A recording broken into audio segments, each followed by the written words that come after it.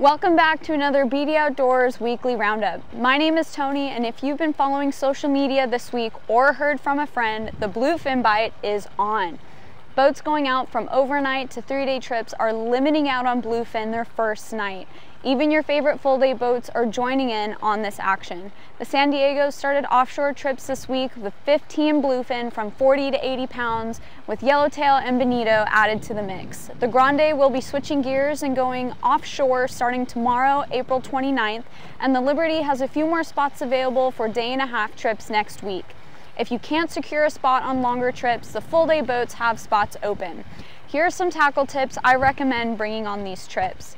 A fly line setup with 30 to 40 pound mono with matching fluoro with 1-0 to 2-0 circle hooks, a 40 to 50 pound setup for Daiwa Zakana or SK jigs, and a 60 to 80 pound setup with matching fluoro for sinker rig style using a 4 to 8 ounce torpedo sinker held by a rubber band or for your knife jigs. The bluefin are here and I can't wait to keep you guys posted on all the local action here in San Diego. Until next time, thanks for watching.